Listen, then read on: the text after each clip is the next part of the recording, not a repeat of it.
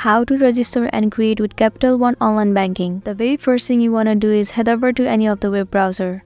Let me head over to Google Chrome.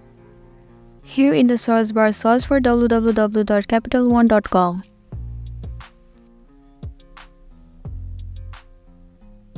It will land you on the official page of Capital One. At the top right corner, you'll find the option of sign in. Tap on it.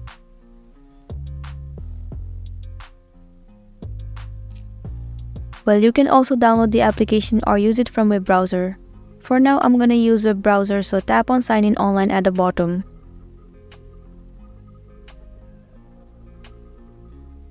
It will land you on this interface. At the bottom, once again tap on setup online access.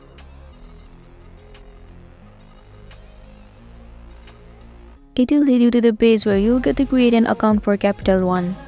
You need to enter some of your details. At the very first, you need to enter your last name and then enter your social security number or ITIN. If you don't have the social security number, you can simply enter your bank account number. And at the very last, enter your date of birth.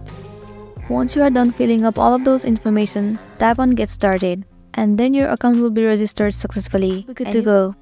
So that's it and this was a tutorial video on how to create an account with Capital One Online Banking. I really hope this video is gonna be helpful for you. Thank you for watching till the end.